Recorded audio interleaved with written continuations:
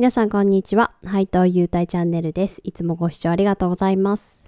今回は11月の長期継続保有優遇制度を紹介します。ぜひ最後までご覧ください。今回、利回りの計算で使う株価は2020年9月3日木曜日の終値を使います。それでは証券コード順に始めます。1419のタマホーム。皆さんご存知、注文住宅の会社、大々的な広告で集客することで有名ですね。事業内容は住宅、不動産、金融、エネルギー、その他となっています。売上が多いのは住宅で全体の81%を占めています。利益率が高いのは金融で37%です。年初来高値は1月7日の1643円です。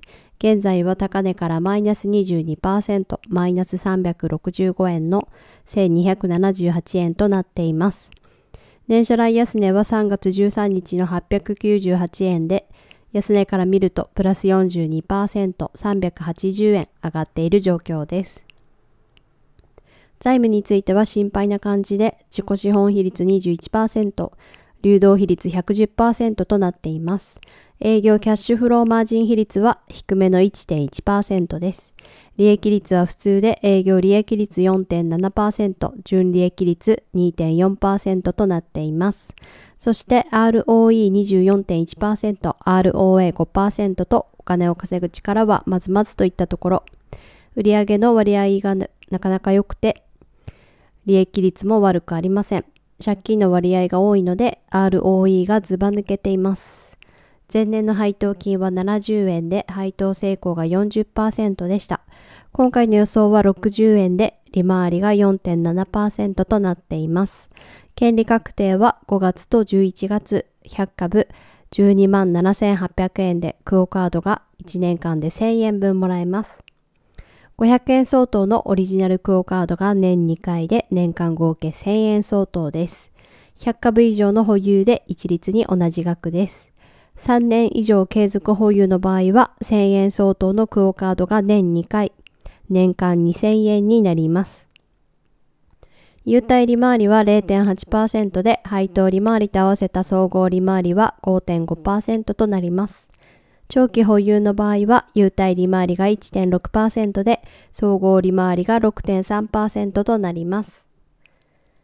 1430のファーストコーポレーション。首都圏を中心に分譲マンションの建設をしています。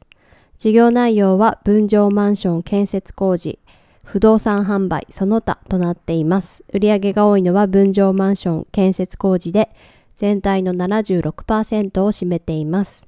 年初来高値は7月20日の630円です。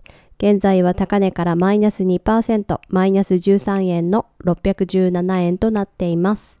年初来安値は3月17日の348円で、安値から見るとプラス77%、269円上がっている状況です。財務についてはちょっと心配な感じで、自己資本比率34%、流動比率211%となっています。営業キャッシュフローマージン比率はマイナス23.4%と残念な感じです。利益率は普通で営業利益率5.7%、純利益率3.7%となっています。そして ROE14.4%、ROA4.9% とお金を稼ぐ力はまずまずといったところ、売上の割合も利益率も悪くありません。借金の割合が多いので ROE が高めです。前年の配当金は20円で配当成功が30%でした。今回の予想は22円で利回りが3.6%となっています。権利確定は11月500株30万8500円でクオカードが1年間で2000円分もらえます。1年以上の継続保有が条件です。ちなみに1000株だと3000円、5000株だと5000円となっています。利回りで考えると500株の保有がベストです。3年以上の継続保有で500株だと1000円アップの3000円。1000株だと2000円アップの5000円。5000株だと5000円アップの1万円となります。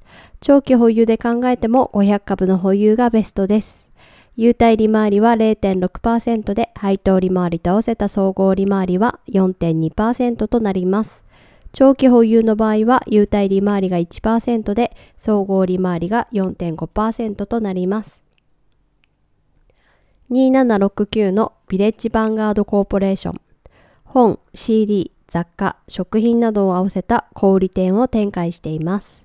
事業内容はスパイス、書籍、ニューメディア、その他となっています。売上が多いのはスパイスで全体の88%を占めています。年初来高値は9月3日の1029円です。現在は高値から0%マイナス1円の1028円となっています。年初来安値は3月13日の776円で、安値から見るとプラス32%、252円上がっている状況です。財務についてはちょっと心配な感じで自己資本比率32%、流動比率240%となっています。営業キャッシュフローマージン比率はマイナス9.3%と残念な感じです。営業利益が出ていなくて最終的な利益もマイナス赤字となっています。前年の配当金は0円で配当成功が0%でした。今回の予想は未定となっています。仮に前年と同じ0円だとすると利回りが0%となります。権利確定は11月100株10万2800円で買い物券が1年間で1万円分もらえます。100株以上で一律に1万円相当です。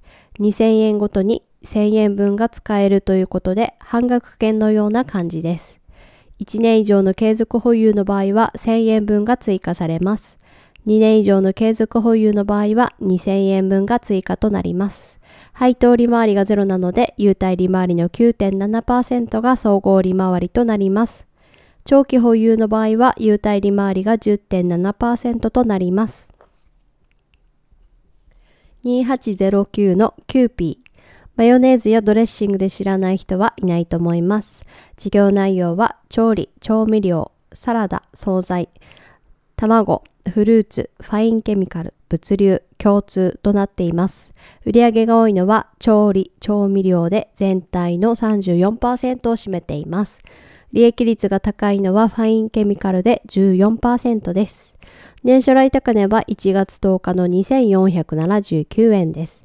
現在は高値からマイナス19%マイナス465円の2014円となっています。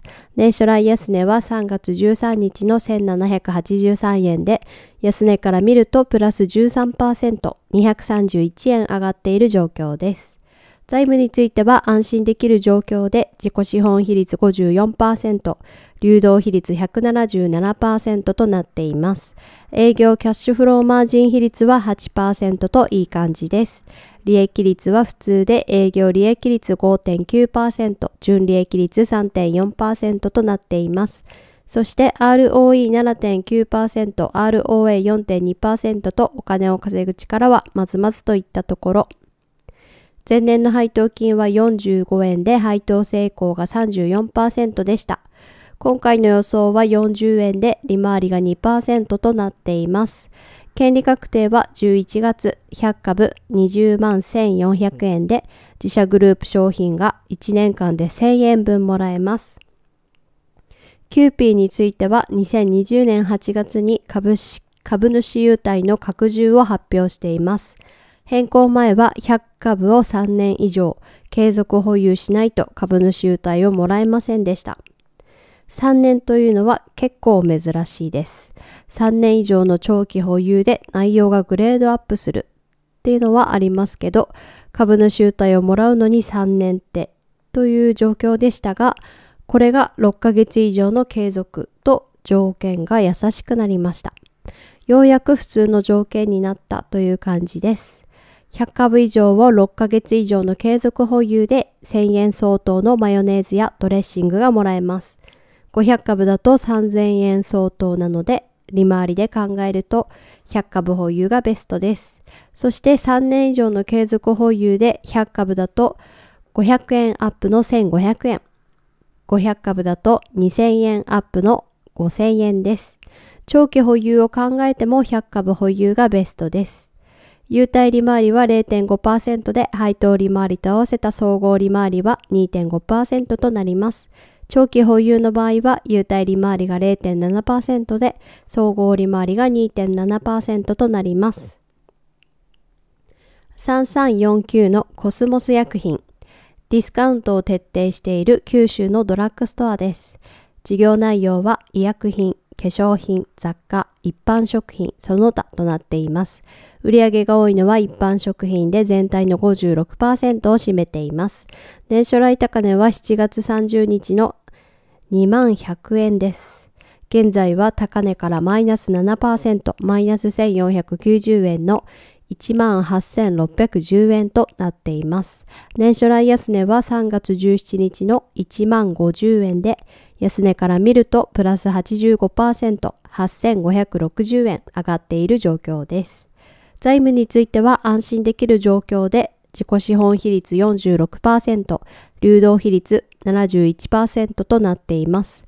営業キャッシュフローマージン比率は9.6%と優秀と言える状況です。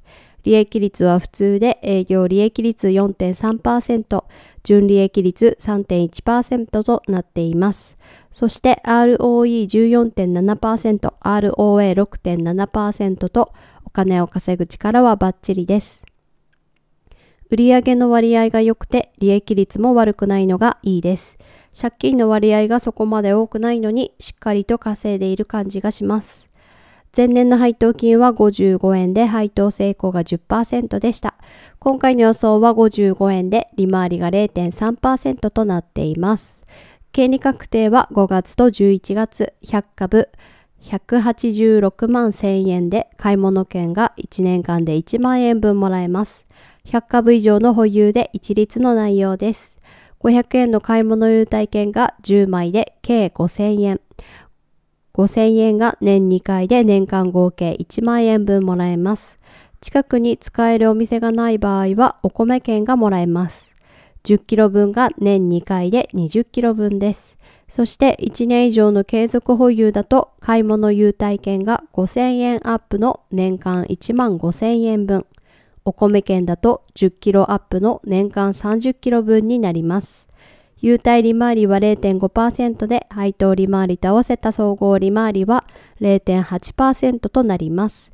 長期保有の場合は、優待利回りが0.8%で、総合利回りが1.1%となります。最後までご視聴いただきありがとうございました。バイバイ。